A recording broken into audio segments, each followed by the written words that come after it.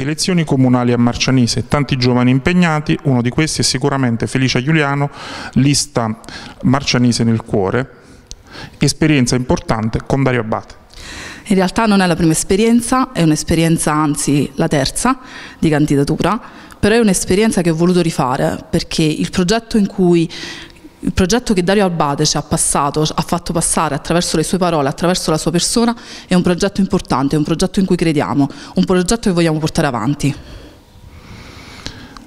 Che cosa possono dare i giovani alla città di Marcianise? I giovani possono dare qualsiasi cosa in realtà, perché i giovani sono quelli che veramente sentono i problemi della città di Marcianise, non perché gli altri non li abbiano. Marcianise è la città più bella del mondo, non perché sia la città effettivamente più bella del mondo, ma perché è la nostra città, è la città dove siamo nati e la città dove vogliamo che i nostri figli crescano. E quindi sappiamo che cos'è che vorremmo che loro non debbano vivere che invece noi stiamo vivendo. Un certo degrado culturale, un certo degrado urbano e questo invece deve essere migliorabile, migliorato, perché e soprattutto Marcianise che è un, diciamo un, una città eh, capo, capofila nella provincia di Caserta. Marcianise è una città che dagli anni 50 a oggi è, ha, ha, creato, è passata dall'essere una città prettamente agricola a una città industriale. Ha espresso anche grandi personaggi a livello politico, non può essere abbandonata a se stessa dalle istituzioni,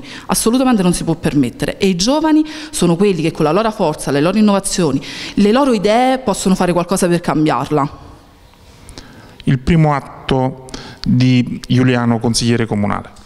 incomincerei a intervenire le, nelle, nel limite delle mie possibilità, perché naturalmente deve essere tutta la coalizione, tutta l'amministrazione che deve lavorare, però nei, nel, diciamo, nei, limiti delle mie possibilità cercherei di migliorare la vivibilità a Marcianise, vivibilità nel senso di parchi verdi, possibilità per i bambini di andare a giocare. Una volta si giocava nella D'Annunzia in un campetto sportivo che oggi è abbandonato a se stesso. Cercherei di lottare per avere delle strisce rosa che non sono dei, uh, naturalmente dovremmo iniziare dal bianco, il blu e il giallo, non per perché dobbiamo dare colore a Marcianise, ma perché in realtà sono un sintomo veramente di uh,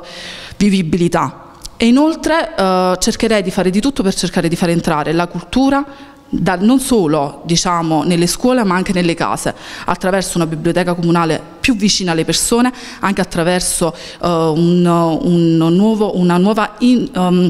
un,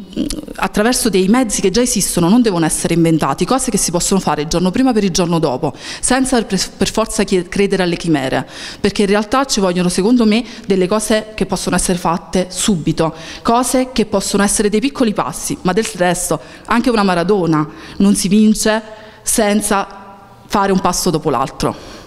Grazie a Felicia Giuliano e al prossimo appuntamento. Grazie.